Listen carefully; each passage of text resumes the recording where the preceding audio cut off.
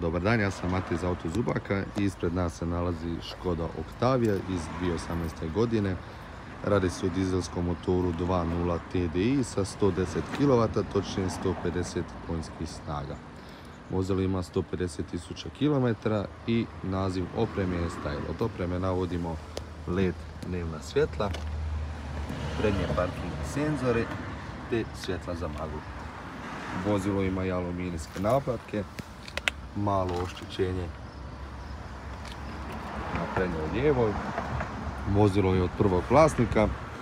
Na stražnjem dijelu vozila se isto nalaze parking senzori. Općenito vozilo je u dobrom optičkom stanju. Sitne tragove korištenja, kao na primjer koji mali udarac kamenčića na poklopcu motora.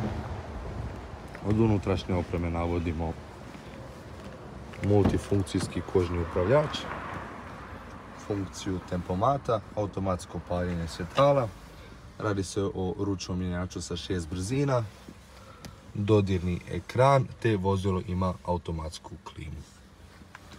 Središnji naslon za ruku i u prtljažniku se nalazi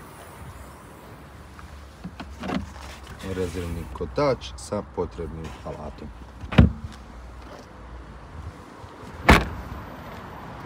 Za sva dodatna pitanja o vozilu ili o načinu financiranja, slobodno nas posjetite u najbližu poslovnicu Auto Zubaka ili nas kontaktirajte na broj 0800 5432.